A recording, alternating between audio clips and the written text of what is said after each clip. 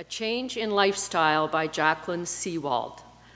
My parents lived through the Great Depression of the 1930s, and I heard stories from both of them about how their lives changed because of it. The same was true of my in laws, whose lives were also impact, impacted negatively. For example, my husband's grandfather owned a factory. Owing to the stock market crash, he lost the factory and went back to work in the very factory he'd once owned. He could no longer afford to send my father-in-law to college. My father-in-law worked full-time as a pipe fitter and went to school part-time to earn his degree, which took seven years. My own mother graduated high school in 1929, took a job as a bookkeeper, and promptly lost it after the stock market crash. She hardly worked after that for years and lived at home with her parents. My grandfather owned a six family house but didn't bother trying to collect rent from the tenants as no one could afford to pay. It was fortunate that he had a steady job. Somehow, my husband and I never dreamed that we'd live through anything similar. However, as they say, history often repeats itself.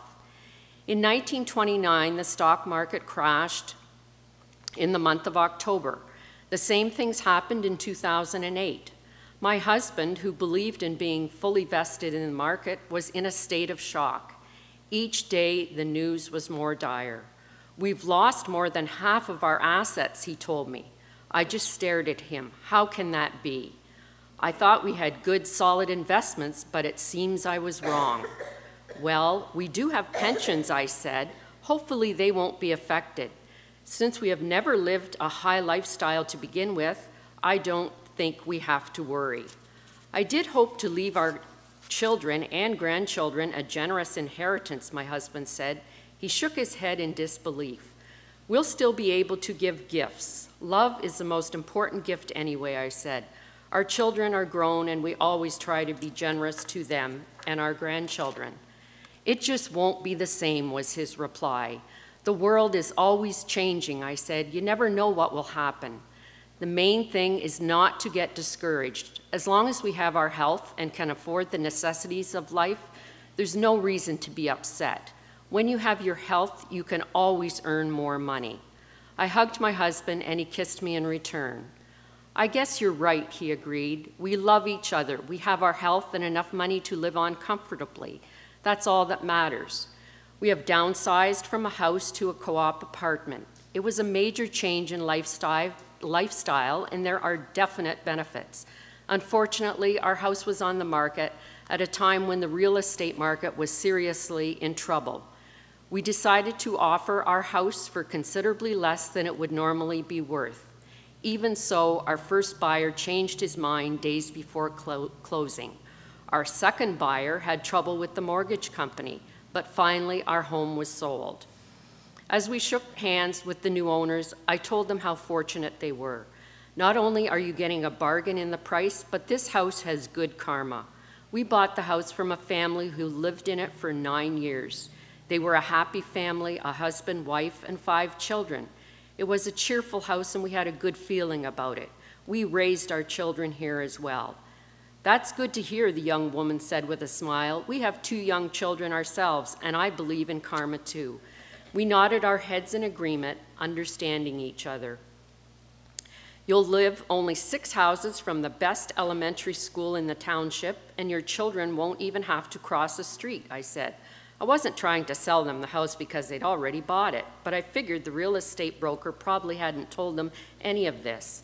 Our children used to come home each day and have lunch with me, I told them. We like the woods in the back, the young man told us. We're going to plant a large garden in the backyard. They seemed so young and happy and full of plans. My husband and I had to smile. At least some good was coming out of the economic crunch. We no longer needed a house. I was good to know that another young family would now be living in what had been a happy, loving home for us. Also, the house needed work that we no longer had the energy to perform. These may be tough times economically, but as for me, I intend to look forward, not back. As Shakespeare said in Macbeth, what's done is done and cannot be undone. I realize that it's the present and future that matter. The title of my reading is The Unexpected Detour.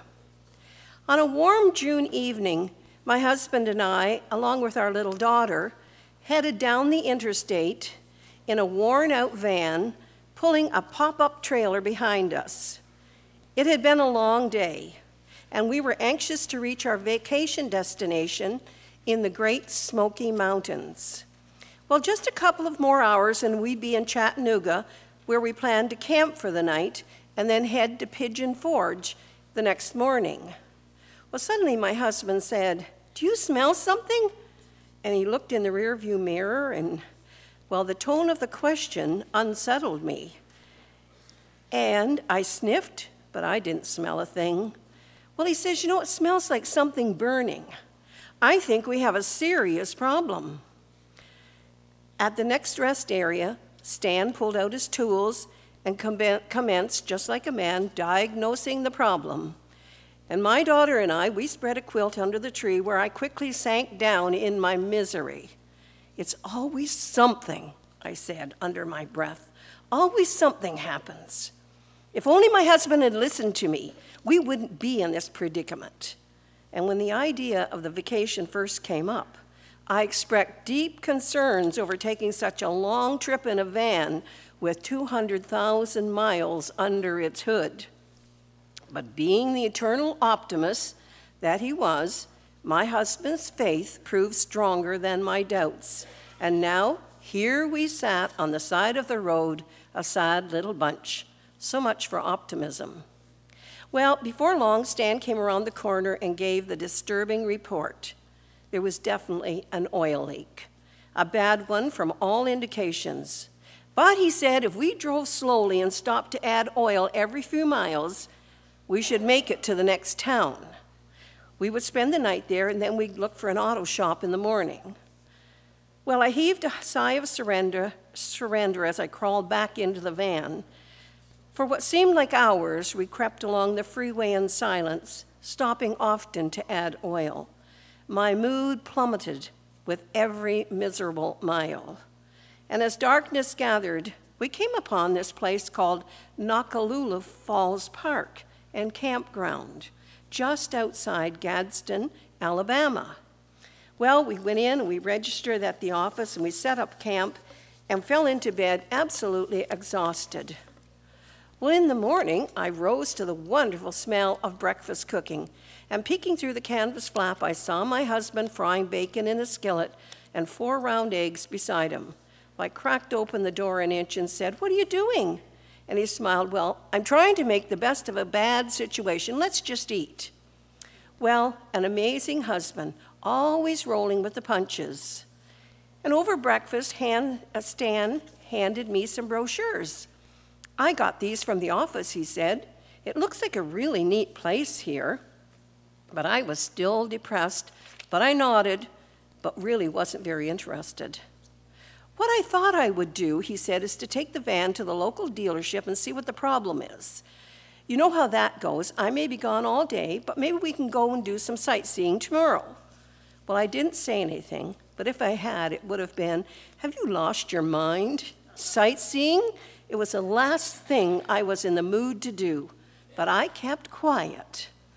And we finished eating, and I watched Mr. Optimistic drive off at a snail's pace a trail of gray smoke following him. How could he always take such things in stride? He really expected to enjoy our visit to this unexpected town. I, on the other hand, had no such intentions. Mom, my little girl's voice came, can we go to the pool? And I said, Oh, sure, sweetie, I'm right behind you. Well, I could just see the local paper's headline now Distraught woman drowns herself in the campsite pool. Well, just about dusk, my husband drove up in a rental car. And from the way he clumped into the camper, I just knew it was bad news. And it was. After a full day of waiting for a diagnosis, another full day was needed for repairs. Excuse me. The cost proved staggering. We discussed our payment options, but none brought relief. And later I climbed into bed certain that this whole trip had one, been one great big mistake. Well, the next morning, despite my lingering gloom, we set out on a sightseeing excursion, trying not to think about why we were here. We discovered that Noccalula Falls Park and Campground, lying at the foot of the Appalachian Mountains, is both large and enchanting, a place of unspoiled natural beauty. Well, not far from our campsite, we followed a sunny path to a stone monument of Noccalula, an Indian princess poised as if about to jump from a 90 foot cliff. Cold water swirled around her feet and rushed over the ridge, creating a spectacular waterfall. Legend has it that Noccalula's father promised his daughter's hand in marriage to a member of an enemy tribe in an effort to obtain peace. But the Indian maiden was in love with a man from her own tribe. Seeing no happy ending, she is said to have jumped to her death from this very cliff the day she was to be married. Well, a few feet away, we took steep steps down into the cool gorge below the falls. And as we navigated the slippery trail, I paused in a mossy clearing and looked up. Out of the frothy spray of the waterfall, giant cedars and evergreens rose up like fluted columns, and overhead, yellow sunlight winked through a canopy of leafy branches. Beautiful, isn't it? Stan said. Yes, I said, suddenly mesmerized. It is absolutely gorgeous. Well, after lunch, we hiked along a narrow trail that curved around magnificent pines winding its way to the top of a straw covered hill. And looking down to the valley below, I was captivated by the sight. Summer sun lay in golden ribbons along the newly mown grass, and off in the distance, a cluster of children skipped among the shadows, their laughter rising and falling. The air was alive with the smells and the sounds of summer. Breathing deeply, I sensed a lightness of heart as if this was the place that I should be. Well, as we gathered for supper that evening, we couldn't stop talking about the enjoyable day we'd spent together and the spectacular beauty that was ours for the taking. Had our trip stayed on course, we would never have seen this beautiful place. Noccalula Falls remains one of our all time favorite places and it was there that I learned a valuable lesson. No matter where the road may take me, I won't let an unexpected detour spoil the day. Instead, I will follow its impulsive path to the sunlight and shadows, just waiting to be discovered in serendipitous places. The man whispered, God, Speak to me. And a meadowlark sang, but the man didn't hear. So the man yelled, God, speak to me. And thunder rolled across the sky. But the man didn't listen. The man looked around and he said, God, let me see you. And a star shone brightly, but he didn't notice it. And the man shouted, God, show me a miracle. And a life was born. But the man was unaware. So the man cried out in despair, Touch me, God, and let me know that you are here. Whereupon God reached down and touched the man. But the man brushed the butterfly away and he walked on. May you never miss out on a blessing because it isn't packaged the way you expect. This reading is entitled, Yes, You Can. What if at age 46 you were burned beyond recognition in a terrible motorcycle accident, and then four years later were paralyzed from the waist down in an airplane crash? Then, can you imagine yourself becoming a respected public speaker, a happily newlywed, and a successful business person? Can you see yourself whitewater rafting, skydiving, or running for political office? W. Mitchell has done all these things and more after two horrible accidents. Left his face a quilt of multicolored skin grafts, his hands fingerless and his legs thin and motionless in a wheelchair. The motorcycle accident burned more than 65% of his body and left him unable to pick up a fork, dial a telephone, or go to the bathroom without help. But Mitchell never believed he was defeated. I am in charge of my own spaceship, he said. It's my up, my down. I could choose to see this situation as a setback or a starting point. Six months later, he was piloting a plane again. Mitchell bought himself a Victorian home in Colorado, some real estate, a plane, and a bar. Later, he teamed up with two friends and co founded a wood burning stove company that grew to be Vermont's second largest private employer. Then, four years after the motorcycle accident, the plane Mitchell was piloting crashed back onto the runway during takeoff. It crushed Mitchell's 12 thoracic vertebrae and permanently paralyzed him from the waist down. I wondered what was happening to me. What did I do to deserve this? Undaunted, Mitchell worked day and night to regain as much independence as possible. He was elected mayor of Crested Butte, Colorado, to save the town from mineral mining that would ruin its beauty and environment. Mitchell later ran for Congress, turning his odd appearance into an asset with slogans such as, not just another pretty face. Despite his initial shocking looks and physical challenges, Mitchell began whitewater rafting, fell in love and married, earned a master's degree in public administration, and continued flying, environmental activism, and public speaking.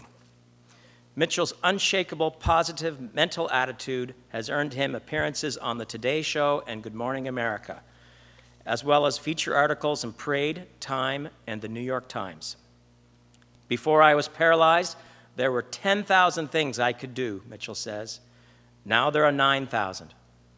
I can either dwell on the 1,000 I lost or focus on the 9,000 I have left. I tell people that I have two big bumps in my life. If I have chosen not to use them as an excuse to quit, then maybe some of the experiences you are having, which are pulling you back, can be put into a new perspective. You can step back, take a wider view, and take a chance to say, maybe that wasn't such a big deal after all. Remember, it's not what happens to you, it's what you do about it.